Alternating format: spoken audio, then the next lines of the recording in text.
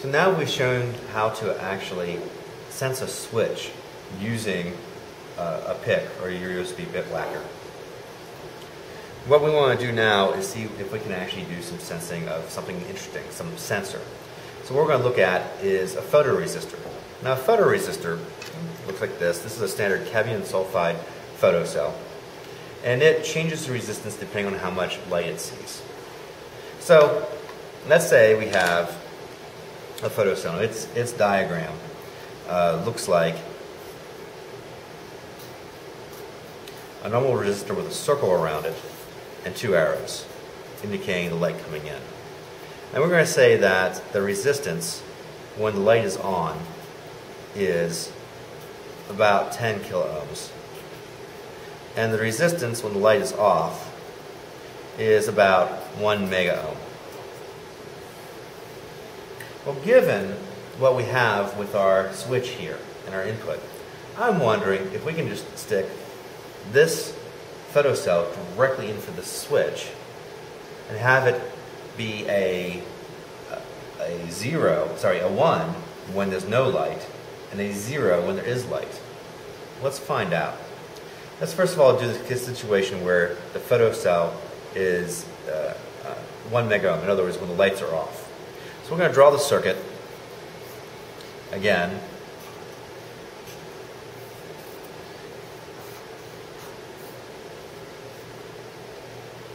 as a voltage divider.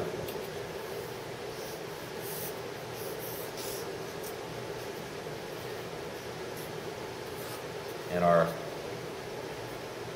PIC is going to, again, well, we're going to assume it has 1 mega ohm resistance inside of it.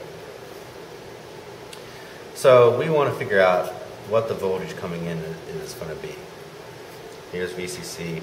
We're going to assume VCC is 5 volts still.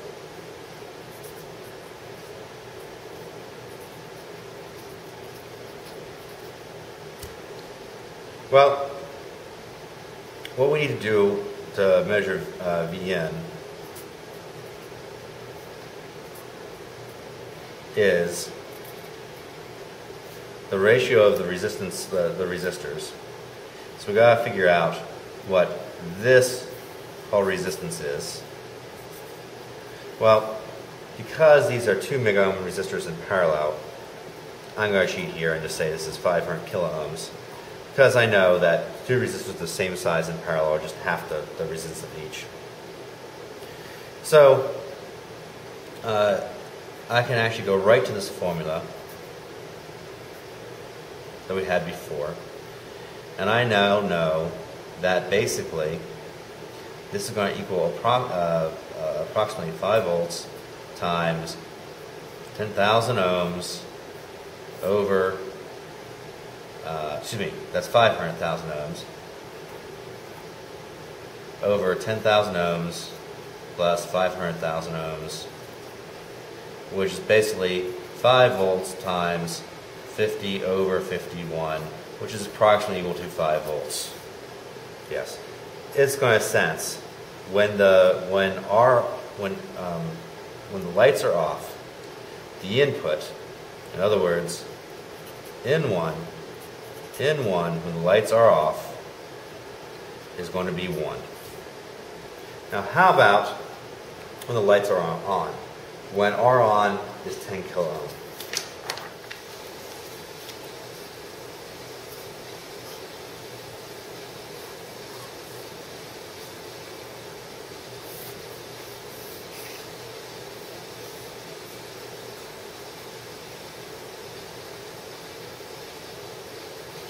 a little voltmeter here, and I have my PIC being about 1 mega ohm. R1 is equal to 10 kilo ohms.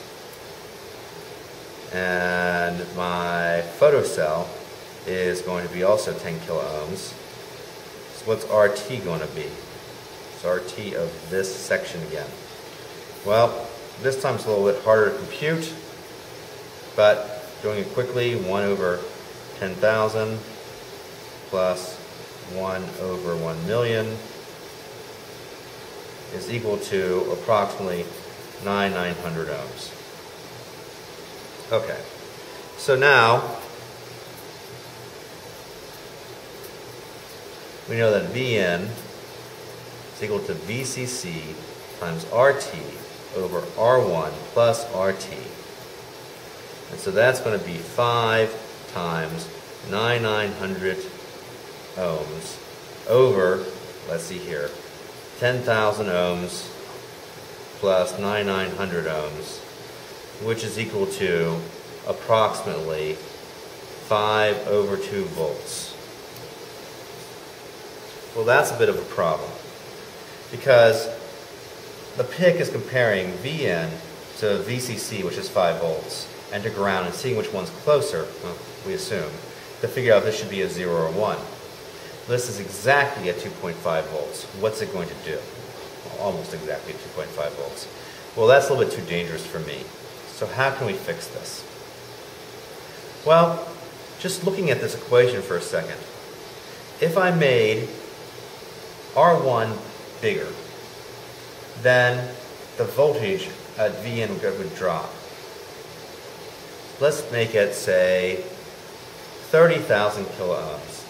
That changes this to be, let's see here,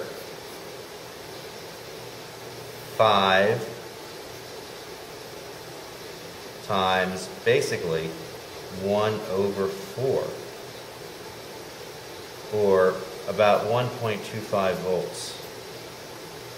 Well, that's certainly a whole lot closer to zero now. So certainly 1.5 volts is much closer to zero than the than VCC, which is 5. So obviously I can just keep on increasing R1 uh, and get this voltage down wherever I want. But it looks like a great idea. It gives me the zero I want here. So now I'm actually basically saying that, you know, in one, this pin, in one, when the lights are on, is going to be zero. But if I change R1 to 30, how does that affect my other circuit when it's actually, when the lights are off? Well, going back to the original circuit, if I now put a 3 in here, and uh, we have, looking at this for a second, let's see here, we end up with 3 here, and this becomes basically 50 over 53. That's still very close to 5 volts. So increasing the resistance really did not change much the voltage in when I'm when the lights are off. So I can actually play with increasing the resistance here to get something that's a little bit lower than 5 volts, but much closer to 0 volts here. And this is the way you can actually quickly sketch something out with a new sensor. When you know the range the sensor is going to have, you can actually figure out exactly where the set point is so that you get a different value, a different point where it changes from 0 to 1.